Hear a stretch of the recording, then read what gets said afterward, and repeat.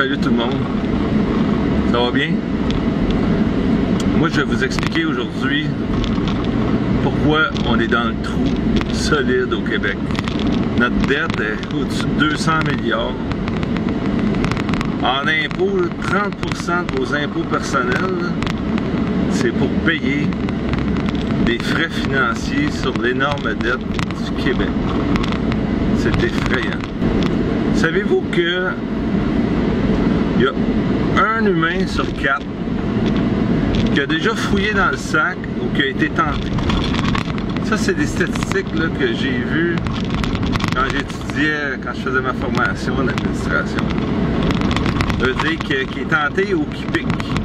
Ça n'a pas la même gravité à une place et à un autre. Quand tu fais confiance à un employé, tu as un petit commerce, puis qu'il a confiance totale, il peut vendre des petits systèmes en cash, puis il fait pas la facture. Il se fait un petit univers comme ça, puis il triche. J'ai vu ça. Des petites entreprises, des plus grosses. J'ai vu ça dans des petites associations. Aussitôt qu'il y a du cash à quelque part, les tricheurs. La race humaine est faite comme ça. Un sur quatre. Donc, imaginez-vous quand tu as la main mise sur les fonds publics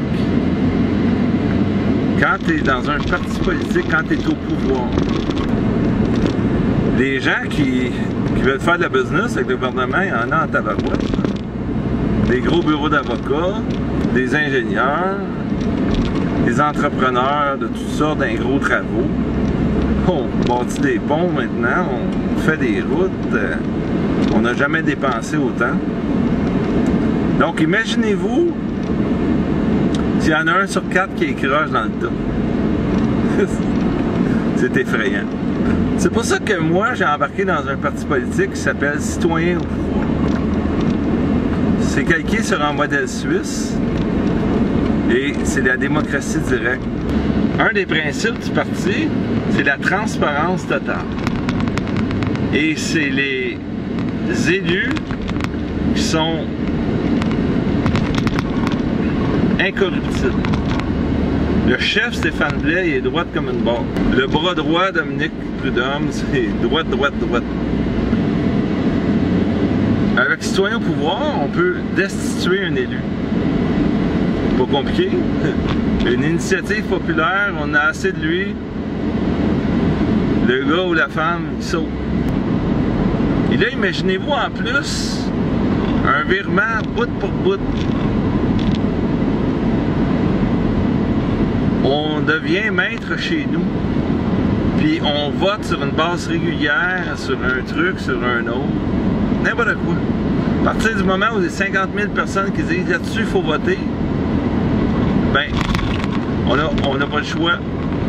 Puis nous autres, en tant qu'élus, on, on doit expliquer les pour et les contre à la population. Donc, ça fait un peuple plus responsable de terrain connu et qu'on est bien là-dedans.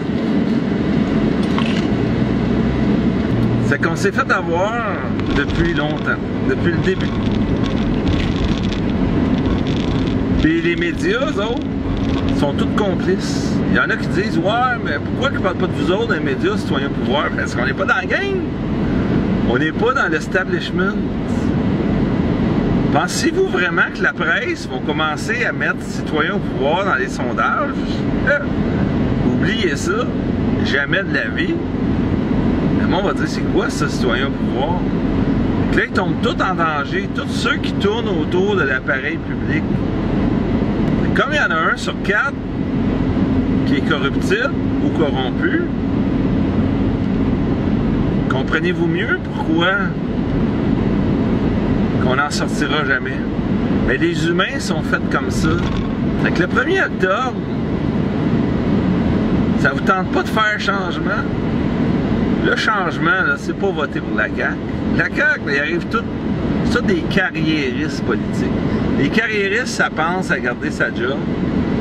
Ça surfe sa vague. J'espère que le 1er octobre, c'est mettre votre vie que ça à votre place. Salut les amis.